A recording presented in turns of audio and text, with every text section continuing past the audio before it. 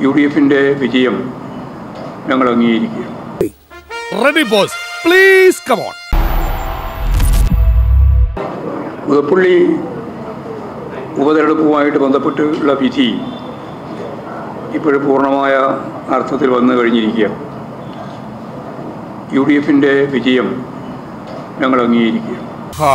ആശ്വാസമായി. ഉമ്മൻചാണ്ടി മരണപ്പെട്ടതിനെ തുടർന്ന് നടന്ന ഉപതെരഞ്ഞെടുപ്പിൽ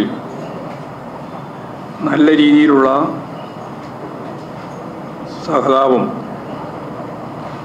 ഈ വിജയത്തിന് അടിസ്ഥാനമായിട്ടുണ്ട് എന്നാണ് ഞങ്ങൾ കാണുന്നത്. നീ അങ്ങനെയല്ലല്ലോ നേരത്തെ പറഞ്ഞത്. ഇപ്രാവശ്യം നാൽപ്പത്തിരണ്ടായിരത്തിലധികം വോട്ട് നേടാൻ സാധിച്ചിട്ടുണ്ട്. അതിന്റെ അർത്ഥം ഇടതുപക്ഷ ജനാധിപത്യ മുന്നണിയുടെ പുതുപ്പള്ളിയിലുള്ള അടിത്തറയിൽ കാര്യമായ ഒരു മാറ്റവും സംഭവിച്ചിട്ടില്ല എന്നുള്ളതാണ്. ആ എന്നിട്ട് എന്നിട്ട് എന്നിട്ട്? എന്നാൽ ഇതുപോലുള്ള ഒരു സഹതാപ തരംഗം ഉണ്ടാവുന്ന തെരഞ്ഞെടുപ്പിൽ മരിച്ച് മരണാനന്തര ചടങ്ങ് പോലും മത്സരത്തിനിടയിലാണ് നടന്നത്.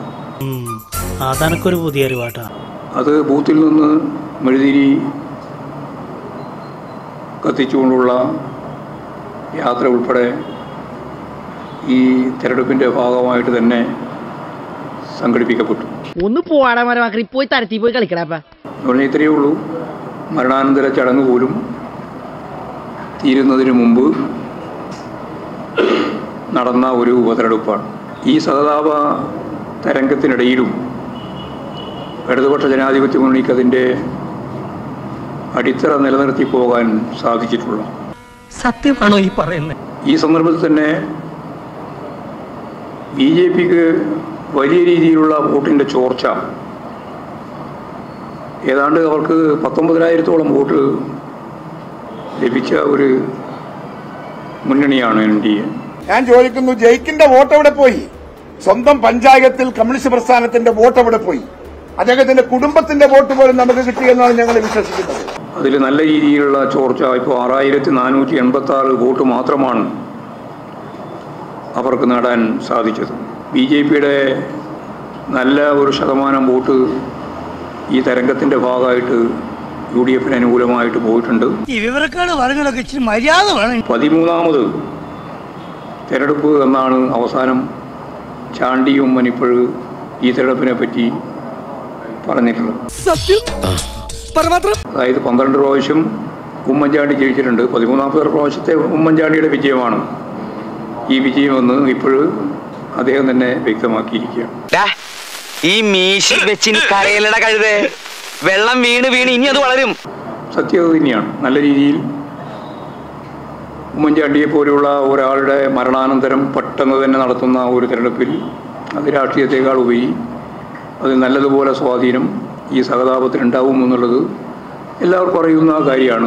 താൻ എന്ത് പാടോ തലയും താലും ഇല്ലാതെ പിന്നെ ഓരോന്നൊക്കെ പറയുന്നത്? ഞങ്ങൾ ആദ്യം മുതലേ ഈ തെരഞ്ഞെടുപ്പിനെ കണ്ടത് രാഷ്ട്രീയമായിട്ട് ഇതിനെ നേരിടുമെന്ന് തന്നെയാണ്. പക്ഷെ അപ്പോഴും ഞങ്ങൾക്കറിയാം ഈ സഹതാപ തരംഗത്തിന് നല്ല സാധ്യതയുള്ള ഒരു മണ്ഡലം മനസ്സിലായി അതുകൊണ്ടാണ്